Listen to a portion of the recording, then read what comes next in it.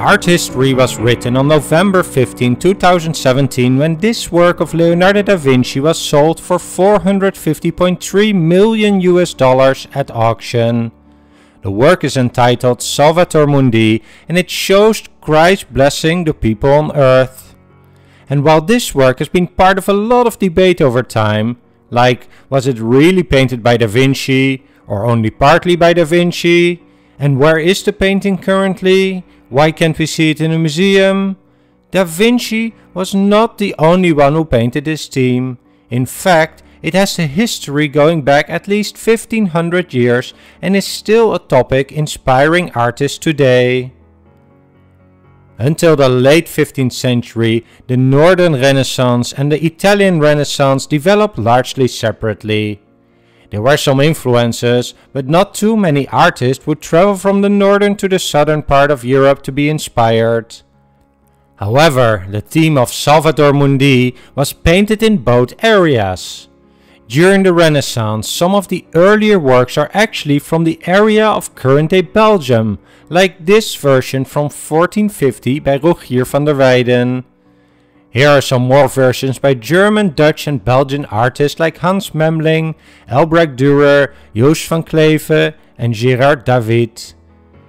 But the theme also has been heavily influenced by Byzantine iconography, evidenced by this version from 1311 by an Italian artist, where the sign of Christ's blessing is already visible, but he holds the Bible instead of an orb.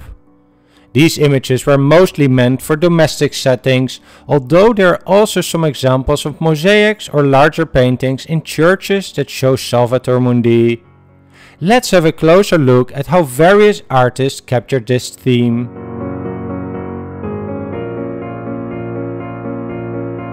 Da Vinci was neither the first nor the last one interested in the theme of Salvator Mundi, which is Latin for Saviour of the World. Here's a tempera and gold painting from 1472 by Carlo Crivelli, and this one was painted around the same time by Antonello da Messina. And here's another version by Hans Memling from a decade later. Comparing some of these works we can see several similarities, but also some differences.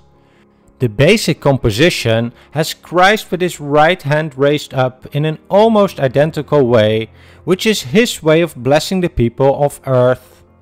This was a traditional symbol for a blessing or teaching, where the index and middle fingers are held upright and close to each other, sometimes slightly bent, and the ring, finger and pinky were bent in the direction of the thumb.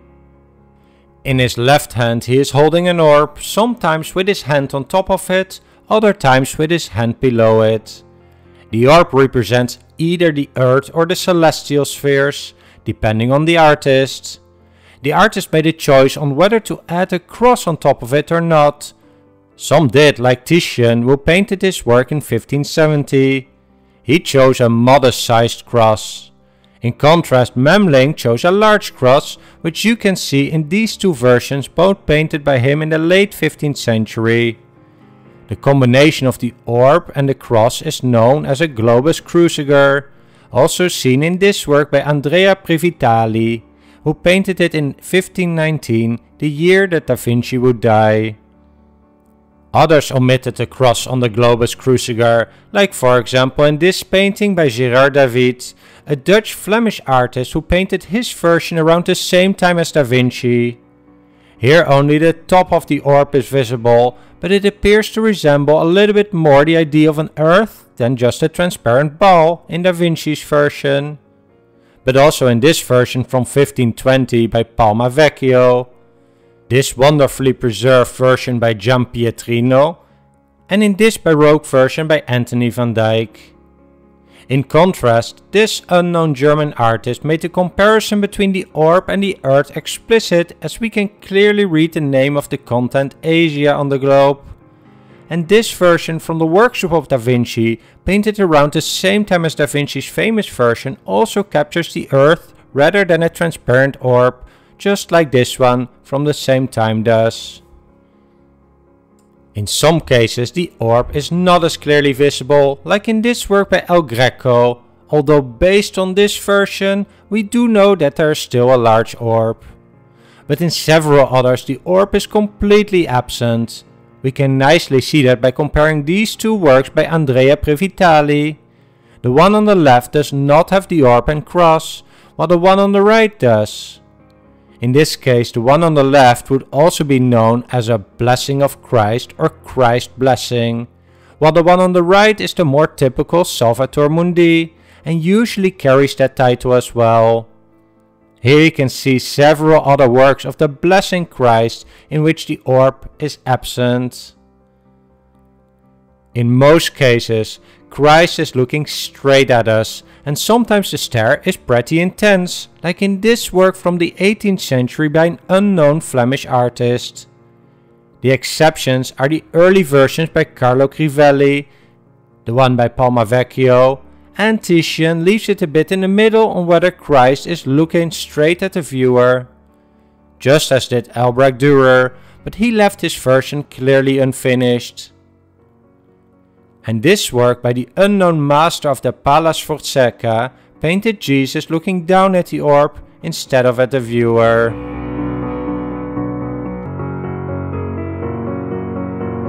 While most versions isolate the figure of Christ from his surroundings, several artists have incorporated them in a larger setting, like this work by Fernando Gallego, showing Jesus seated on a throne surrounded by the symbols of the four evangelists. Vittore Carpaccio has Jesus in the Salvator Mundi pose surrounded by four people, probably also the four evangelists. And this is one of the earlier beautiful versions of Salvator Mundi, painted around 1452 by Rogier van der Weyden as part of a triptych. In this central panel, Salvator Mundi is placed in between the figures of the Virgin Mary and Saint John the Baptist. And here's an early 16th century version with Christ placed in a landscape. During the Baroque period in the 17th century, the composition for Salvator Mundi became even fancier, like in this version by Domenico Fetti. There are some more variations on the Salvator Mundi. It was for example also a popular theme among sculptors. As we saw before, in some cases the orb and crucifix are absent, in which case it is usually known as Christ's blessing. Raphael painted his version in 1506. A few years earlier, Giovanni Bellini painted Christ's blessing, where Jesus is holding the staff with the invisible banner of resurrection in his other hand. And Peter Paul Rubens painted a version with the earth, but without the blessing, and this work is known as Christ triumphing over death and sin. But there are also examples where the orb is replaced by a Bible, like in this version from around 1540 by the Italian artist Paris Bordone, and this 15th century work by Giovanni Bellini. In fact, this was how the theme of Christ blessing or Salvator Mundi originated. Here is, for example, a version of 1311 by the Italian artist Segna di Buonaventura, also showing Christ with a book instead of an orb.